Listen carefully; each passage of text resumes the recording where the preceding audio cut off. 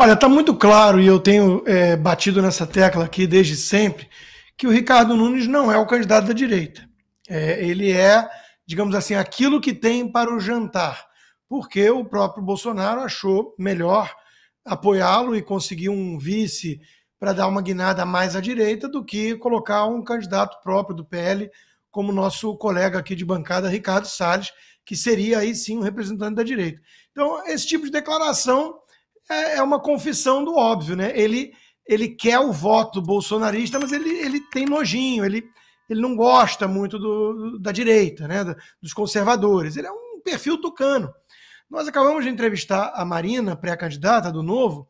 Ela tem um preparo, um embasamento é, e um alinhamento até com as ideias liberais que o partido dela representa, que o Paulo Guedes, com quem ela trabalhou, e eu trabalhei seis anos na época de mercado financeiro, representa, né?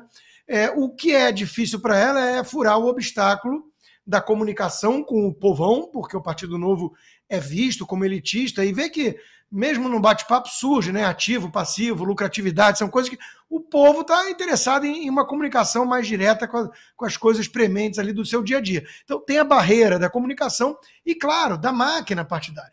O Ricardo Nunes conta com o apoio do sistema, né? É, e, e, o sistema está apavorado, claro, com a ameaça comunista do Boulos. O, sistema, digo, a turma que não flerta com o comunismo dentro do sistema. Né?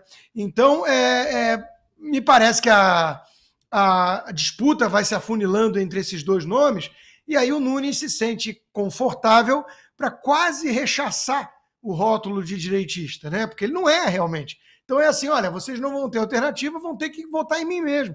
Que é a volta, é, Brown, da velha estratégia das tesouras. A gente votava, a gente que eu digo, a turma mais à direita, votava em Aécio Neves votava até em José Serra, esse é quase comunista mesmo, né? Tomando engove, tomando plazil na veia. Eu brincava sempre, né? Toma engove, vai lá e digita o número do tucano. A gente está mais ou menos nessa situação de novo hoje. Né? E, e o Nunes meio que sabe disso. Agora, Fabi, será que não tem o risco de, nesse cenário que o Constantino narrou para a gente muito bem, de nojinho do Ricardo Nunes em relação ao Bolsonaro, não tem um risco de esse eleitor bolsonarista, o eleitor de direita, se sentir autorizado a escolher um outro nome, falar, olha, acho que o, o ex-presidente não pode não tem a liberdade de escolher o candidato dele, está ali com o um arranjo partidário feito, mas nós, enquanto eleitor, podemos eleitores podemos escolher. E aí ele migre para alguma outra candidatura? Será que esse fenômeno pode ser produzido, Fabi? Pode sim, esse risco é real. Eu não consigo entender como que os assessores aí de campanha não apontam isso, ou talvez aponte e talvez o Nunes não ache isso importante né? Porque a gente tem aqui o Boulos alinhado ao cenário é, nacional com o Lula, sem nenhum nojinho, né? A gente teve aquela cena absurda lá do Lula pedindo voto para o Boulos, os dois recebendo multas ridículas, enquanto isso, Nunes ainda não definiu nem o seu vice. Né? É, é falado que existe um acordo, o Bolsonaro está honrando esse acordo, está dizendo né, que isso se trata de, um, de algo é, partidário um pouco mais amplo, mas a gente não vê realmente é, essa comparação do Maluf ao Bolsonaro. Para quem é bolsonarista, não sei se o Nunes tem essa capacidade de, de interpretação, mas ela é, é ofensiva. Né? O Maluf ficou para nós aqui de São Paulo como alguém que rouba, mas faz. Então é assim, é uma pecha muito esquisita, né? Tá faltando realmente acordar para a vida se ele quiser o apoio da dita direita. Só que a situação é horripilante mesmo.